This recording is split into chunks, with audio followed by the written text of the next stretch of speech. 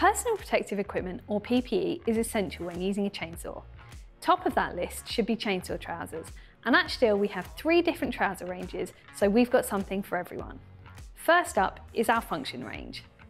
For those of you who are only using a chainsaw occasionally, for cross-cutting of timber or light maintenance around the garden, we have the Function Universal Trousers and the Function Ergo Trousers. These both have Class 1 Design A cut protection, which means they have certified cut protective material on the front of the legs only. But the Ergo trousers also have reinforced knees, reflective strips and some handy pockets. They have a more relaxed fit than some of the other trousers in our range.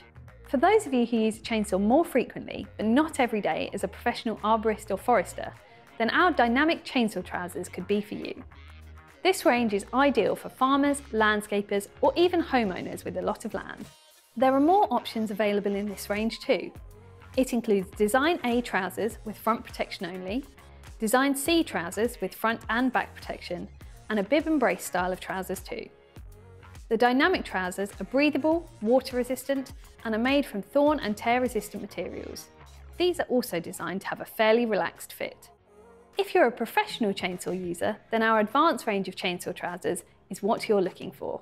Made with a Vertic Pro-Lite cut protection material, which has been developed exclusively for Stihl. These all have flexible fibres for greater freedom of movement. There are three different versions, X-Light, X-Flex and X-TREEM. You can find details of the full range of advanced PPE, including these trousers, on the Stihl Great Britain YouTube channel But all of the advanced trousers are more fitted than our other ranges. Whatever you use your chainsaw for, we have a pair of chainsaw trousers to suit you.